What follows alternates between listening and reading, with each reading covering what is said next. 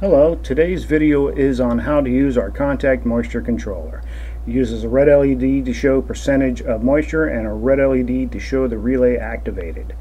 Uh, it's powered by 12 volts DC hooked up to this terminal and a single pole single throw relay hooked up through the other terminal. Uh, uses three feet of wire between the control board and the probe. Uh, it will not measure ambient air moisture. So we have a sponge here to demonstrate. So we touch it, touch it to the sponge, you can see the relay turns off because it hits a preset point.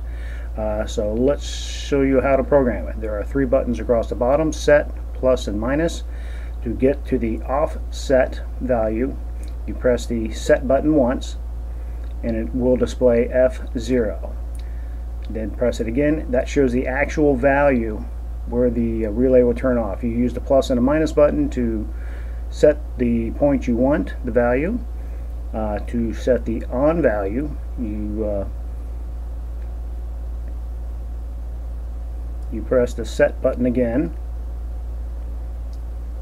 then hit the plus sign once and then you get F1 this is where the relay turns on. Then you hit the set again. This is the value. And uh, there again you can turn it up and down with the plus or minus whatever value you're looking for.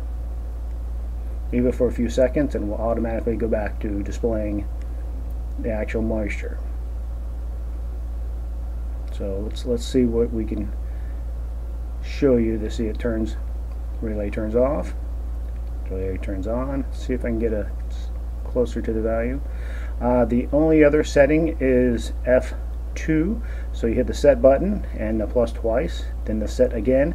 This is a calibration. You can hit plus or minus to calibrate uh, if you have a longer cable or some scenario where you need to actually adjust the settings.